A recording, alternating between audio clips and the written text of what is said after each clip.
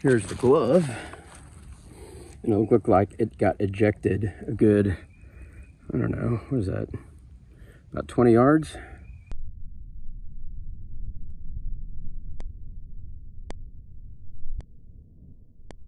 Per Hammer Time Forum, I took the suggestion of taking a piece of leather and putting it between the clay and the entry point. I do have that drill where it'll make a perfect circle, but I forgot to drill that out. So I don't think a thin piece of plastic should cause that much damage. Today's hammer bullet trap, we have the 135 grain power hammer, which I will be hitting that target at over 3,000 feet per second and over 3,000 foot-pounds of energy. I wanted to shoot it at 100 yard yards, but I'll show you in my thermal. I'm basically in a slope and I could barely see that target. So I really don't expect to have much clay left over, but I do hope to catch the bullet.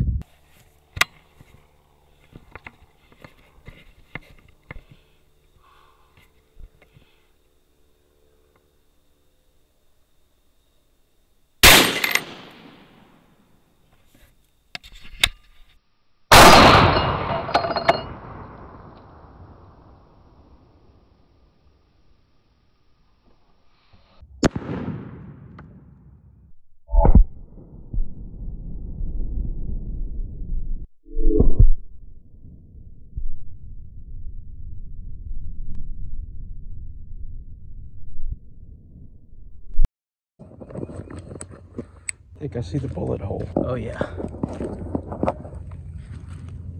We definitely have got the bullet. I actually brought the right sand filter all the way out here. First thing I really want to look at is the clay here. Look at that wave. So this is the entrance here. Look at that shock wave. That is just cool, man. is wicked. Look at that shockwave. There's a petal right there. See that? That's a perfect petal. I'll fiddle that when I get home. This is the imprint in the ground. Oh dang, look, there's a petal. That's so cool. Yeah, probably can't see it from your angle. That's a really good divot though. That's cool, I found a petal right there. This part was on the ground facing downward, but because of the weight of the clay, it won't let me lay it this way without rolling over. So this is the ground level here. This is where the glove was centered, and you can see that the bullet went straight in there. Let me get that closer so you can see. And it looked like it quickly expanded on this side. What's really cool is check that out. There is a petal that looks to be about three and a half inches on that side. And I believe there is a petal, small one, let me find it, right there. Let me pull these out with my needle nose pliers just to confirm those actually are petals.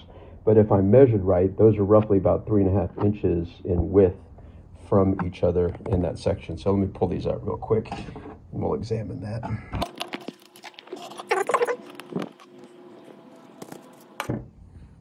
Oh yeah, that's definitely a petal. Tiny piece there. And this is the much bigger one over here.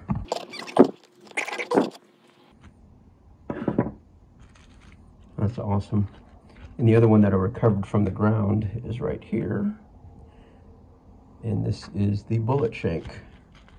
So what I'm going to do now is slowly peel this apart and see how much of this I recovered. Now 10 pounds of clay or um, forming clay, molding clay, should fit in here, but there was a lot that blew out this direction that I didn't even try to collect. So let me see how much of this um, I'm able to fill into here, and that'll let me know if I need to buy a little bit more. But I think I recovered at least eight pounds of this stuff, but I will slowly peel this apart and then also look for some petals. Just found another petal. It made it three quarters all the way through the clay, almost exiting the plastic container, and it is right there.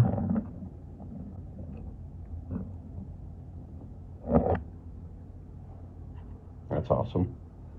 And I definitely found another one right there. And this was pressed against the very bottom of the plastic right there. So that one made it all the way, almost all the way through. And here's another one. This one also made it three quarters of the way through.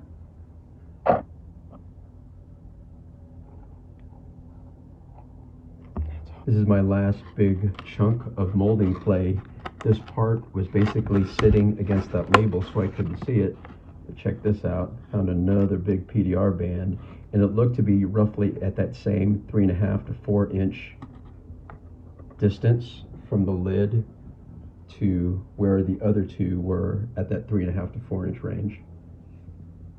Final review, knowing that I hit low, I probably hit somewhere right around here. I'm guessing that because of where um, it expanded in the back of this container. The big petals expanded at roughly three and a half to four and a half inches within side of the molding clay. And I did find two more petals, almost three quarters to the very back end of the exiting container and the bullet would have exited right here. That's why this whole area is blown out there and I was only able to recover, it looks like about seven and a half pounds to seven pounds of molding clay. So getting hit with 3,200 foot-pounds of energy at roughly 3,200 feet per second, I lost about three pounds of molding clay. Here are the shanks and petals before and after running them through my sonic cleaner. The shank weighed in at 48.9 grains. The petal weighed in at 31.4 grains, giving a recovered weight of 80.3 grains. The largest three petals found their resting place three and a half to four inches within the molding clay. The two smaller petals were found 75 to 99% of the way through the body of the molding clay. What's apparent to me after watching this impact in slow motion, the bullet had fully expanded within the first inch or inch and a half of the molding clay, fully detonating or bubbling at the three and a half to four inch range, blowing the heaviest part of the molding clay a good two feet in the air. If you have any other suggestions for my hammer bullet trap, please comment below. Stay tuned for the next test where I'll be running my fastest bullet at over 4,900 feet per second.